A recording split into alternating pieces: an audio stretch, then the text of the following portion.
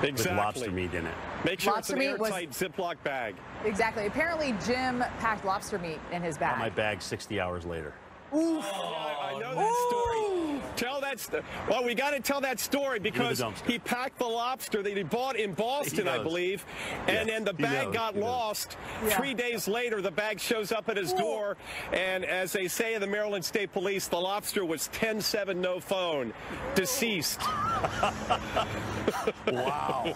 wow. And on that note, and on that note, the first Thanksgiving probably was a lobster Thanksgiving. So, Mike, I've heard of, you know, LL Bean and Marmot and Patagonia, but I've never heard of the brand Seidel. Where do, where do I get some of that? It's on sale right now. On sale. Go to eBay and uh, Google my name, and you also find the uh, Mike Seidel bobblehead. Believe it or not, I, and I'm not lying about the bobblehead. 1995 for a Mike Seidel bobblehead. I wouldn't pay 250 for my bobblehead, but I'm just saying. I'm just saying. Mike, I knew you'd have a great answer for that. Steph, I'm just going to toss it over to you. All right, so where his bobblehead will be bouncing around like of course, this. today.